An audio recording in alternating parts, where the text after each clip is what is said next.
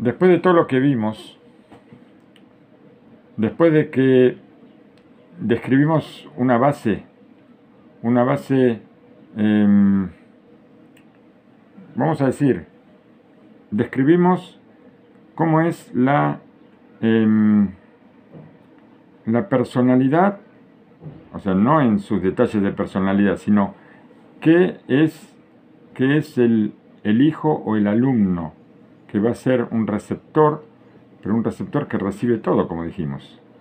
Él se da cuenta de cosas que nosotros ni nos damos cuenta a veces. Si nosotros tenemos em, un, un, hijo, a veces, cuando la madre se dice algo, le dice algo, este hijo va a saber lo que la madre está pensando, no solamente lo que dice. Le lee, le lee las expresiones. Y nosotros pensamos que no, pensamos que podemos decirle cosas a los hijos o a los alumnos. Ellos nos estudian por dentro mucho más de lo que nosotros podemos pensar. Entonces, nosotros hicimos una descripción de lo que es el, hijo, el alumno, que es, una, es algo que es muy sensible, tiene una sensibilidad mucho más de la que nosotros imaginamos. Entonces ahora nosotros tenemos que, em, tenemos la esperanza de que cuando, de que cuando este hijo o este alumno, cuando vaya a estudiar, cuando vaya a la escuela, cuando vaya a la yeshiva, cuando vaya al colel, que él también él pueda tener la misma alegría que nosotros tratamos de transmitirle en la casa. La misma forma que nosotros le enseñamos, porque un padre está educando todo el tiempo. El padre tiene que saber en qué lío se metió, los padres, el padre y la madre. Piensan que tengo yo, por ejemplo, salvando miles de diferencias. Un caballito y una yegua tienen un hijito y ¿qué hacen? El hijito está en un potrero, está todo el día despotricando, como dicen, el potrillo. Está todo el día corriendo de un lado para otro y eso es la vida de él. Nosotros no, no, no, no hicimos nacer caballitos para que estén sueltos todo el día haciendo lo que quieren estos, estos, estos hijos eh, todo el tiempo están aprendiendo lo que nosotros hacemos. Entonces nos metimos en un problema serio, porque ahora cada cosa que hacemos es un ejemplo para nuestros hijos. Entonces tenemos que asumir la responsabilidad. Una responsabilidad muy fuerte, pero que por supuesto, como está escrito en el Pricabot, de acuerdo al sufrimiento es la recompensa, de acuerdo al esfuerzo es la recompensa, entonces la recompensa es muy grande que vamos a tener con como el fruto de la educación de nuestros hijos. Y lo que nosotros esperamos, que así como con nosotros están aprendiendo, están educándose con alegría, que también cuando ellos tengan que ir, tengan que ir a la escuela, cuando tengan que ir al, al Betamidrash, a una yeshiva, que también tengan la misma alegría para poder estudiar la Torah. Sobre el tema, nos enseñó el, el Rab eh, Abramsky, no, no, me acuerdo el nombre. Bueno, el Rab Abramsky, el Brajá, que el camino para llegar a esto es eh, es eh, con el detalle en el estudio. O sea, que el estudio sea como filoso. Vamos a ver, vamos a explicar qué significa esto. Y transmitiendo mensajes con, con mucho amor y también con un sistema muy particular que eh, es uno de los sistemas conocidos de enseñanza, que es el de preguntas y respuestas. O sea, preguntas y respuestas, o, como se puede decir con forma de eh, acertijos o cosas por el estilo, porque esto, esto eh, empuja el corazón, empuja el corazón de los alumnos, de los hijos. ¿Qué pasa? Si yo a un chico le enseño cosas, se duerme. le hablo, le hablo, le hablo, le hablo, le hablo, se duerme. Pero si yo le pregunto algo, entonces, ahora, cuando yo pregunto, él tiene que contestar. No le pregunto algo que no sepa, le pregunto algo que sepa o le pregunto algo que piensa. ¿Para qué? Para meterlo a él en el tema, asociarlo al estudio. Entonces él se siente partícipe y, por supuesto, va, esto lleva el corazón al estudio. Y además, eh. Aparte de que esto es una es un sistema didáctico muy, muy profesional, el tema de hacer preguntas y respuestas, eh, y se aconseja este método eh, para ayudar, para ayudar al alumno, para ayudar al hijo a concentrarse en el tema, en el tema que está, que está tratando, y también esto va a arrastrar en caso de, de una, una quita, un grado de chicos, donde varios chicos estudian juntos, eh, uno arrastra al otro, de forma de que se crea un ambiente de estudio más, más cómodo para poder estudiar con alegría. Y también que esto también eh, tal vez hay algunos chicos que son un poquito más están un poquito más desinteresados o algo esto los mete a ellos también. Como que pincha pincha un poquito como les, o que les hace picar para que se rasquen no es cierto lo pica, me hace que me rasque. Cuando me pica la cabeza para tratar de entender algo, entonces me preocupo por entender. Y este es el, esta es la idea de las preguntas y las respuestas. Eh, de qué manera eh, nosotros eh, conseguimos... a ver, perdón. Sobre este tema, sobre este tema, sobre esta idea, ¿Cómo es posible que cuando, a ver, presentamos delante de un rab muy grande una pregunta, una pregunta determinada, la respuesta de este rabino va a ser, en la sinagoga mía está permitido, pero en otra sinagoga está prohibido. ¿Qué significa esto? ¿Qué, significa esta respuesta? Que da un rab, el rab de la ciudad o el rab del lugar da una respuesta así, no entiendo nada qué significa esto. Vamos a ver. La respuesta cuál es? Una persona.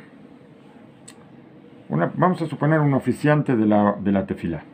Un oficiante de la tefilá, él está ahora em, repitiendo, em, está, está, pronunciando toda la oración, ¿no es cierto?, como oficiante. Y él está oficiando delante, a ver, a ver que no me acuerdo cuál es el ejemplo. ¿eh? Esto me pasa en la memoria, no me, no me funciona. A ver, Adam Shemit que salía Sibur Lifne Amud Beyesh Lo Din Torah Etzel Rab Peloni Beshoel Etarrab Au אם להמתים עליו בסוף קריאת שמע o la Acá está hablando un oficiante, está en la sinagoga, y este oficiante tiene un juicio de Torah con un rabino. Y le preguntan a ese rabino si hay que esperar, o sea, si hay que esperarlo a él, si hay que esperar, normalmente en una sinagoga, cuando está el rabino de la sinagoga y están todos rezando, antes de comenzar la repetición de la midá, normalmente eh, se espera al rabino de la sinagoga. Otras personas tal vez no las esperan, pero el rabino de la sinagoga, si él todavía no terminó, antes de seguir con la tefilá, se lo espera a él. Ahora hay un problema que este oficiante tiene un juicio de Torah con este rabino y preguntan si tiene que esperar o no esperar al rabino, el oficiante. Le contestan a él que si fuera en la sinagoga del rabino, entonces ahí sí está permitido esperarlo. Pero, ¿por qué? Porque todos lo van a esperar a él. Cualquier oficiante que se pare a rezar en la sinagoga donde el rabino está ejerciendo su función, es una cuestión de delicadeza esperar que el rabino termine determinada porción de la para seguir. Si el rabino tal vez va más despacio, como es el rabino en la sinagoga, van al ritmo de él, por una cuestión de respeto. Pero si no es la sinagoga de él, entonces no hay que esperarlo. Puede ser que otra persona sí lo quiera esperar, pero él no, porque él tiene un juicio con él. Entonces ahora, ahora, si él tiene un juicio con esta persona, entonces va a parecer que a causa del juicio él lo está esperando o algo por el estilo. Este Rab, este Rab ahí apareció, no es la sinagoga de él, entonces está prohibido esperarlo, porque esto se llama soborno. Este, este rabino, eh, o sea, no es que él tenía juicio contra el rabino, el rabino es el juez en un, en un tribunal, ¿sí? El rabino es juez en un tribunal. Y hay dos personas que tienen una discusión sobre dinero, sobre negocios, sobre, sobre lo que sea. Una, una persona piensa que el otro le sacó algo. Tienen un juicio de Torah. Ahora, ¿qué pasa? El rabino es el juez. Si yo le hago un favor al rabino, yo soy uno de los dos que está en juicio, si yo le hago un favor, eso se llama soborno. Aunque yo no tenga la intención, pero se llama soborno. ¿Por qué yo le hago un favor a este rabino sin ningún motivo? Ah, porque yo le hago un favor a todos los rabinos. Bueno, puede ser. Pero si no es así, esto a la vista, si no es en la sinagoga de él, se ve como soborno. Por eso, esa es la respuesta de que un, en la sinagoga del rabino está permitido, en la sinagoga que no es del rabino está prohibido. Bueno, ahora, entré, dice el Rab Silverstein, entré una vez a un grado en el Talmud Torah Bet David. Y ahí estaban estudiando un capítulo del, Talmud que se llama El Umetziot de Baba, no me acuerdo ese qué, qué Gemara es, eh, bueno, no me acuerdo, bueno, em, me interesa, creo Baba Kama, Baba Atra, una de esas, o Baba Metzia. Eh, le conté a ellos un relato de una persona que eh, llevó a su familia em, de paseo en su carro y de repente llegaron a un cruce ferroviario. ¿Sí? Están las vías del tren. El conductor va a cruzar las vías y de pronto el carro se le para justo en el medio de las vías. Justo en el medio de las vías y se escucha la sirena del tren que viene. El tren se acerca rápido y entonces el conductor y toda la familia entran en pánico y todos se bajan, todos se bajan del carro y se alejan de las vías. Había uno ahí, uno, un hombre llamado Simón, que estaba ahí mirando todo de costado, vio lo que pasaba se saltó adentro del carro así rápido y apretó acá, apretó allá, empujó, hizo así y de repente el carro arrancó y lo, en el último momento, lo sacó de las vías. Y el tren pasó y Baruch Hashem no pasó absolutamente nada. No al tren, no al carro, no a los, no a los pasajeros del tren ni del carro, todos se salvaron, todo salió muy lindo. Y viene este Simón, estaba todavía dentro del carro, y Rubén, el dueño del carro, se acerca a él, le agradece con todo el corazón por el bien tan grande que le hizo, que le salvó el carro, salvó, salvó al, al tren, salvó a los pasajeros, salvó a su carro también y Rubén está esperando que Simón se baje del carro. ¿Y para qué? Para seguir el viaje, el paseo con la familia. Y qué grande la sorpresa cuando ve que Simón no muestra ninguna señal de querer bajarse del carro. Y no solamente eso, sino que intenta seguir manejando, irse con el carro, el carro de Rubén. Dice el Rab, ahora yo voy a los chicos y le digo, les pregunté, tal vez ustedes me pueden explicar, chicos queridos, por qué motivo Simón piensa que el carro ahora es de él. Y todos los chicos juntos contestaron, o sea, gritaron fuerte, dijeron, eh, Yam, Sutosh el Yam es un, es, un, es un estudio de la Gemara que habla sobre un tema parecido a este. Habla sobre un tema que cuando una persona em, de repente eh, se olvida de algo, no que se olvida, abandona algo. Este hombre, este hombre, con la familia, estaba dentro del carro. Viene el tren. Salieron del carro para salvar la vida, ¿no es cierto? Entonces ahora el carro, ya está, se olvidaron que el carro existe. El carro está perdido. ¿Cierto? ¿Sí o no? ¿El carro qué le importa ahora? Ya está, ellos salvaron la vida. El carro está atascado ahí en el medio de las vías. El tren va a venir, lo va a despedazar. Entonces ya no piensan en el carro. Por eso este Simón que agarró y salvó el carro, ahora dice el carro es mío porque tú ya no pensabas que ibas a tener ese carro. Ese carro ya no es tuyo, ya no te pertenece porque tú lo apartaste de tu mente. Es todo un estudio de, del Talmud sobre eso que hay. Entonces, pero esto que el ejemplo lo trajo el Rab para que los chicos enseguida vean el tema que estaban estudiando. Estaban estudiando ese tema de que cuando una persona eh, deja, deja como sin dueño a una, a una cosa de él. ¿Sí? Yo estoy, eh, eh, no sé,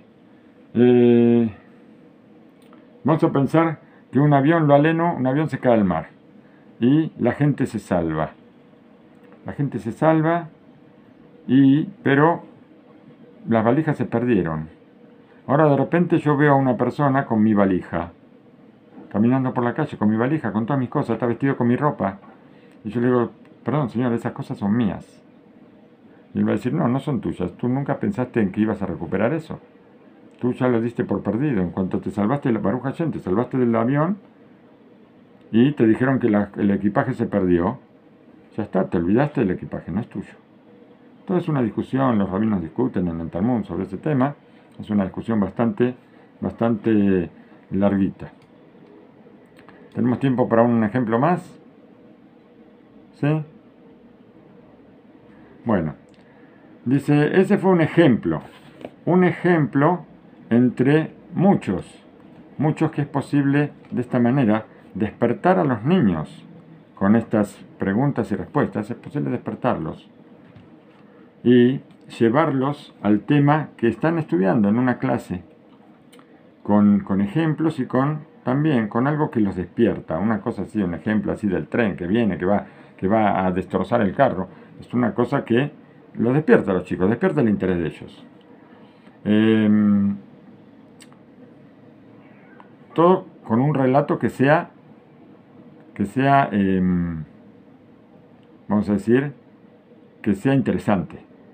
Yo recuerdo cuando los chicos eran chiquitos que venían con cada cosa de la, del grado, con los ejemplos también, que ya esto es algo que hace varios años que ya se viene haciendo este sistema, pero venían con ejemplos rarísimos de, gente que uno le disparó a otro y otro lo acuchilló y otro y, golpes y heridas. Y digo, ¿qué es todo esto? Esto le están metiendo a los chicos, esto, esto ya es, son los mismos. Acá nosotros el ejemplo que vimos, un ejemplo que no pasó absolutamente nada, ¿no es cierto? Está bien, el tren venía y iba a hacer algo con el carro, pero tampoco no pasó absolutamente nada, todo fue tranquilito. Pero si nosotros hacemos ejemplos para despertar a los niños con peleas y saltos de Superman y cosas por el estilo, entonces en vez de en vez de poner cosas puras en la mente de ellos, metemos cosas peores tal vez. Porque yo me acuerdo, uno de mis hijos venía, después no sé qué pasó con ese maestro, pero algo pasó porque eh, no terminó el año. Venía con ejemplos sangrientos de, robos y matanzas y, cosas rarísimas. Está bien, entendía todo lo que estudiaba, pero, pero los ejemplos eran demasiado violentos, vamos a decir, para un chico. Eh, nos cuenta acá, dice él, ahí te le daber itam yeshirot al. Dice Rab que él podía haber hablado directamente sobre el tema que estaban estudiando, pero de esta forma las cosas entran al corazón de una forma mucho mejor. Y yo quiero traer otro ejemplo de un relato que yo le dije a los a un grupo de niños y que esto tenía que ver también con el mismo capítulo de la Gemara, em, cuenta sobre un vendedor, un vendedor de carne, que él, él un, no un vendedor, un distribuidor de carne, que llevaba carne en el camión para repartir entre los negocios de, entre las carnicerías de una ciudad. Un camión todo cargado de carne.